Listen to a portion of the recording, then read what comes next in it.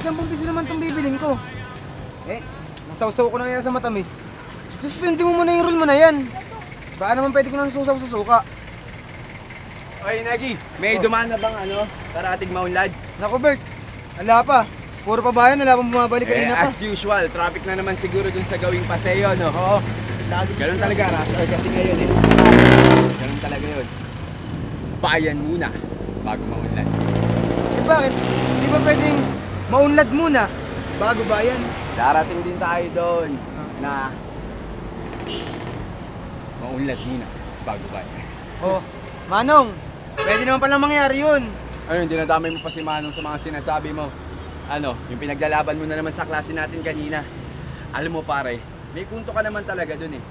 Pwede mo naman talagang puntahan yung bahay nung nirereklamo mo kahit wala ka pang order. Naka-uniforme ka naman. Saka, bilib na ako sa'yo kanina eh. Ano mong pinagsasabi mo? Ang pinagtataka ko lang, bakit suka muna bago matamis? Ito oh, ito! Ayan ba? Oo? Akala ko kasi hindi ka pa nakaka-move on kanina.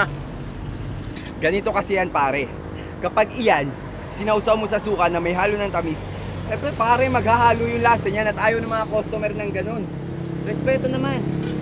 Pare, customer is always right. Eh, ba't nyo pipigilan nyo yung gusto ko?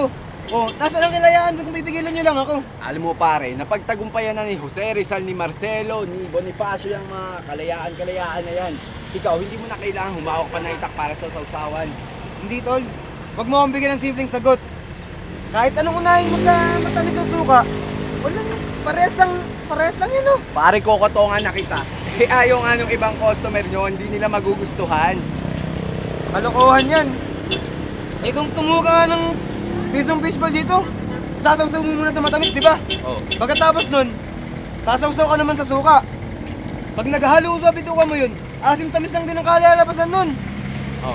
And almost 90% of Filipinos doing that. Believe Eh, me, pare. pare, believe me! Believe you, believe you, eh 10% ka ng mga tao, ayaw nun. At ayon sa batas, lahat ng individual, binibigyan ng pagpapahalaga. Eh ano mong batas bang nasusulat tong suka muna bago matamis?